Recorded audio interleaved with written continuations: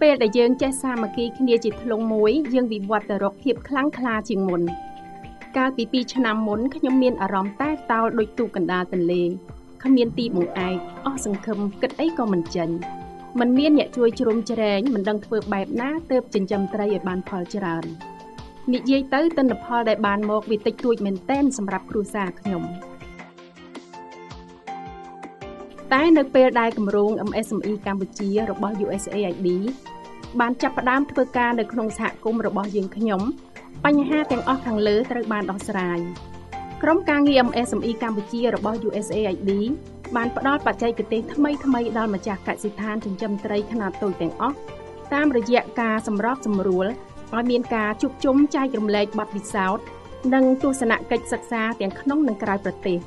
ចំណែកឯអ្នកផលិតចំណីត្រីវិញ ពួកគាត់បានដឹងថា បើពួកគាត់ជួយសម្រួលបន្ធូរបន្ថយតម្លៃដល់យើង ដើម្បីឲ្យយើងមានលទ្ធភាពទិញចំណីពីពួកគាត់អញ្ចឹងពួកគាត់នឹងទទួលបានទីផ្សារកាន់តែទូលំទូលាយជាងមុនផងដែរកាលពីមុនមានកិច្ចខិតខំប្រឹងប្រែងជាច្រើនដែលបានជួយអ្នកចិញ្ចឹមត្រីខ្នាតតូចៗតាមរយៈស្ថាប័នរដ្ឋនិងអង្គការមិនមែនរដ្ឋាភិបាលនានាប៉ុន្តែចិត្តសាស្ត្ររបស់គម្រោងអាម៉ាស៊ីនីកម្ពុជា គឺមានលក្ខណៈពិសេសដោយសារតែវាផ្ដល់នូវនិរន្តរភាពនៅក្នុងខ្សែសង្វាក់អាជីវកម្មចិញ្ចឹមត្រីទាំងមូលយុទ្ធសាស្ត្រនេះគឺជាគំនិតបែបក្រុមជួយខ្លួនឯងយ៉ាងពិតប្រាកដបន្ទាប់ពីគម្រោងបានបញ្ចប់អាជីវករនិងតួអង្គផ្សេងៗនៅក្នុងសង្វាក់អាជីវកម្មចិញ្ចឹមត្រីនិងបន្តជួយគ្រប់គ្រងគ្នាទៅវិញទៅមកដែលមិនចាំបាច់មានការជួយជុំជ្រែងពីគម្រោងពីពិតជាមានការគ្រប់គ្រងលើការបណ្ដុះបណ្ដាលផ្នែកបច្ចេកទេសដែលបង្កប់នៅក្នុង សេវាកម្មពីសំណាក់ក្រុមហ៊ុននានានៅលើទីផ្សារនិងលើសង្វាក់អាជីវកម្មដែលកំពុងរងចាំការសម្របសម្រួលអ្វីដែលយើងត្រូវធ្វើនៅពេលនេះគឺត្រូវណែនាំពួកគាត់ឲ្យស្គាល់គ្នាទៅវិញទៅមកហើយបន្ទាប់មកពួកគាត់នឹងបង្កើតទំនាក់ទំនងអាជីវកម្មជាមួយគ្នាដោយខ្លួនឯងក្រោយពីការដឹកនាំក្រោមគម្រោង MAME មកខ្ញុំបីដូចជាសัตว์មួយធំពីឆ្នាំ1990មកដល់ ដើមឆ្នាំ2006ខ្ញុំចិញ្ចឹមត្រីគេថាលក្ខណៈគ្រួសាររបស់ពួកខ្ញុំនេះគេថាចិញ្ចឹមតាមបានដោយគ្មានការសិក្សាស្វែងយល់គ្មានបច្ចេកទេសគ្មានអីទាំងអស់គឺថាប្រមូលផលបានបែប30 40ម៉ឺនរៀលត្រីបានបែបជាខ្ទង់300គីឡូ400គីឡូដាក់ត្រី4 5ម៉ឺនក្បាលដូចត្រីចាប់ពីធម្មជាតិយកមកដាក់ហ្នឹងដល់ឥឡូវយើងទិញកូនគេតាំងពីចំណីឲ្យប៉ុន្តែយើងអាចបានផលច្រើនយើងអាចចាប់ក្នុងមួយឆ្នាំយើងចាប់បាន2ដង 5ខែយើងអាចចាប់បាន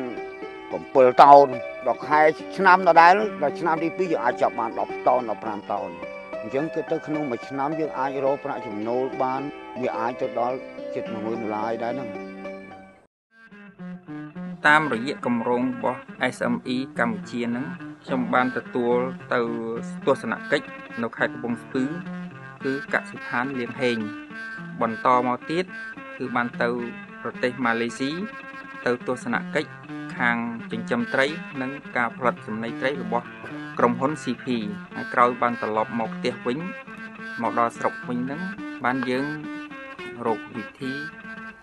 ដើម្បីនឹងកែច្នៃកើតជាផលិតចំណីនេះបាន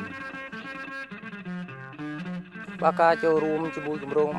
កម្ពុជានេះខ្ញុំទទួលបានប្រាក់ប្រយោជន៍ដូចជាទស្សនកិច្ចសិក្សា ក្រៅនៅក្នុងប្រទេសហើយទី2ទៀតការចូលរួមសិក្ខាសាលាស្ដីពីបច្ចេកទេសចិញ្ចឹមត្រីនិងផលិតពូជត្រីតាមរយៈក្រុមហ៊ុនធំធំ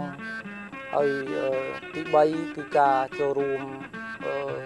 ទីតាំងពិព័រណ៍ហើយទី4ទៀតការចូលរួមសិក្ខាសាលាស្ដីពីមុខរបរជីវកម្មបើការទស្សនកិច្ចសិក្សាដូចជាពីប្រទេសថៃហើយម៉ាឡេស៊ីនេះ ខ្ញុំទូបានបច្ចេកទេសឬក៏បទពិសោធន៍ថ្មីថ្មីអឺពីការចិញ្ចឹមត្រី និងផលិតពូជត្រីហើយក៏ដូចជា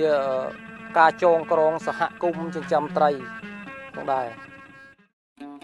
មុខរបរទិញត្រីខ្ញុំសពថ្ងៃគឺថាបានស្រួលហើយគ្មានបាក់អីទេថាបានសហគមន៍យើងបានបង្កើតស្រះបានច្រើនហើយចិញ្ចឹមឆ្នាំហ្នឹងក៏កើនច្រើនជាងរាល់ឆ្នាំហើយតម្លៃទីផ្សារក៏ថេរល្អ ហើយខ្ញុំដឹកជញ្ជូនលក់ទីផ្សារក៏បានគ្រប់គ្រាន់រាល់ខែរាល់ឆ្នាំរហូតមូលហេតុដែលខ្ញុំឃើញថាការផលិតកូនត្រីនេះនៅប្រទេសយើងវាមានការខ្វះខាតដោយសារថាការចិញ្ចឹមនេះវាមានលក្ខណៈធម្មជាតិផងជាលក្ខណៈសម័យថ្មីផងដល់អញ្ចឹងខ្ញុំឃើញថាការដែលផលិតកូនត្រីនឹងមានការពិបាកណាស់នៅក្នុងប្រទេសយើងដូច្នេះខ្ញុំក៏ខិតខំស្រាវជ្រាវពីការចិញ្ចឹមនឹងឡើងដល់ អញ្ចឹងខាងក្រសួងពាក់ព័ន្ធក៏ដូចជាខាង MS ME កម្ពុជាអង្គការ USAID គាត់ក៏ឲ្យកម្លាំងចិត្តខ្ញុំគាត់បានរៀបចំឲ្យខ្ញុំនឹងទៅទស្សនកិច្ចសិក្សានៅប្រទេសម៉ាឡេស៊ីក្រោយពីខ្ញុំទៅទស្សនកិច្ចប្រទេសម៉ាឡេស៊ីខ្ញុំមកវិញខ្ញុំបាននៅបទពិសោធន៍ខ្លះខ្លះពាក់ព័ន្ធនឹងការផលិតកូនត្រីនេះហើយខ្ញុំក៏បានមកក៏ខ្ញុំកែច្នៃបន្ថែម រៀបចំប្រព័ន្ធទឹកបន្ថែមដល់ការរៀបចំប្រព័ន្ធទឹកនេះធ្វើឲ្យទឹកចិត្តខ្ញុំហ្នឹងរឹតតែមានកម្លាំងចិត្តតទៅទៀតដោយសារអង្គការ MAME ហ្នឹងពាក់ព័ន្ធនឹងការលេចរីកចម្រើននេះវាធ្វើឲ្យខ្ញុំមានមោទនភាពដែរដោយសារថាការតម្រូវការមិនមិនគ្រប់តម្រូវការរបស់កសិករចិញ្ចឹមអញ្ចឹងមានការរីកចម្រើនខ្លាំង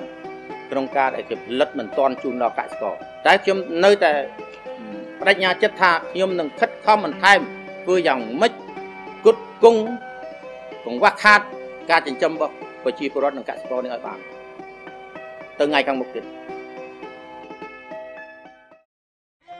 ពួកខ្ញុំពិតជាមានសេចក្តីសោមនស្សរីករាយនិងសូមថ្លែងអំណរគុណយ៉ាងជ្រាលជ្រៅចំពោះគម្រោង MSME កម្ពុជារបស់ USAID ដែលធ្វើឲ្យពួកខ្ញុំមានជំនាញមុខរបរនិងមានភាពរីកចម្រើនដូចសពថ្ងៃនេះ។